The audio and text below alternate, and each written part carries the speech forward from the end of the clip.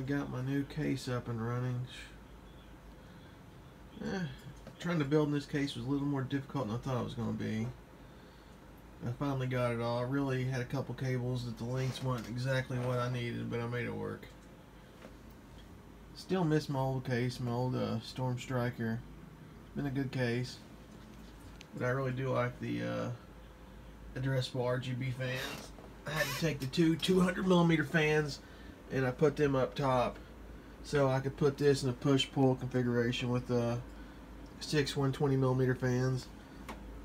I have a couple fans on the back, but they're just uh, RGB. They're not addressable, so I can't use them with the hub I have. So I need to get six, uh, three more, actually four more addressable RGB, and my back one's not either. So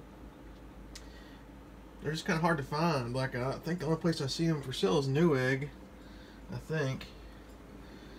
And I tried to make my my G Skill RAM like rainbow colored. It's hard to pick up here on the uh, on the camera, but looks pretty nice. I like the case so far, but I tell you what, I thought you know I was gonna get way better temps having going from a, a 240 to a 360 uh, millimeter radiator, but just a little bit better from my H100i version 2. I got the lid my 8700K. I just think I got a dud. It just runs way too hot, way hotter than it should. I got a D-lid kit, so I guess I'm going to have to D-lid it here soon. I thought I maybe wouldn't have to with this, but I still can't get the temps on one. I can't run it at 5 gigahertz. It runs too hot. So I guess I'm going to have to D-lid it.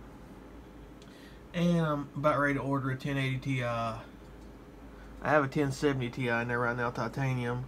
And in this build, it's a 5820K and a 1070. That one's a 3770K, and I have a 1060 I'm to put in it right now. That's a 780 classified.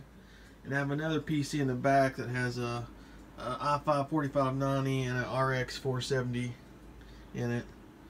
But I don't know why I built so many. I should have just built one really good one, but I just like to tinker around and benchmark stuff.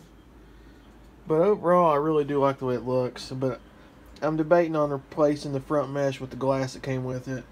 I know it'll make the temperatures a little bit higher, but I think the glass is going to look really nice. Cause man, you can it's really clear. Like you can, it don't look like there's anything on it when you look at it. But and I'm glad it has the glass up top and on the 500M, not like the acrylic on the other uh, 500 cases. Cause that acrylic scratches too much. Way too easy if you get dust on it. But yeah, I was pretty happy with it. Came out nice. Just thought I would uh, show a little video of it.